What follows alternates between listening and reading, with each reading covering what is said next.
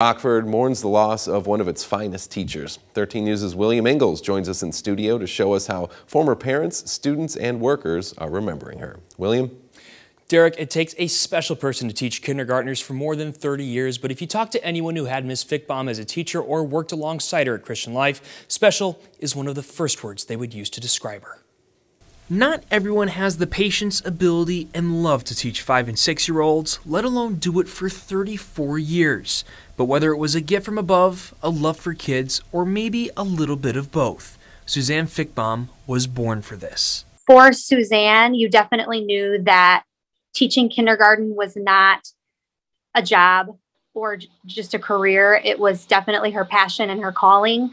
And she loved those kids like her own. Her love for kids extended past her five days a week as a teacher and into choir lessons and chapel services. And she was passionate about singing and about serving at church and even in the kids ministry on Sundays when she was with kids all week at school. She was serving on Sundays at City First as well. Lead pastors for City First Church, Jeremy and Jen DeWert, recognized Miss Fickbohm for the impact she had on so many kids, saying in part, quote, we are forever grateful for her hard work, dedication, and love for the children of Christian life, including our two oldest sons.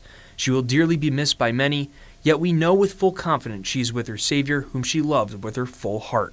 And at many houses like that of Chrissy Saunders, who worked with Miss Fickbohm at Christian Life and had five of her six kids taught by her, will always have a memory pop up every year around the Christmas season we put together a huge photo album for her of all of the kids holding their bears, but then there's Noah, like, where's mine?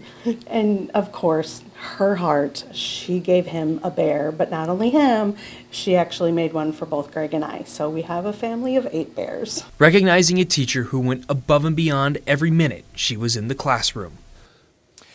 Well, much like the Saunders family, I have a bear as well. Yes, I was a student of Miss Fickbohm in her class back in 2002. Now, sources, with sources being my parents, say I was a bit of a terror when I was five years old, and they regard Miss Fickbohm as a saint who not only dealt with a hyper William Ingalls at five years old, but she also taught that kid discipline and respect at a young age, lessons I still lean on today. So, for myself and many others who had the pleasure of being around a great light in our community, thank you, Miss Fickbohm, for everything.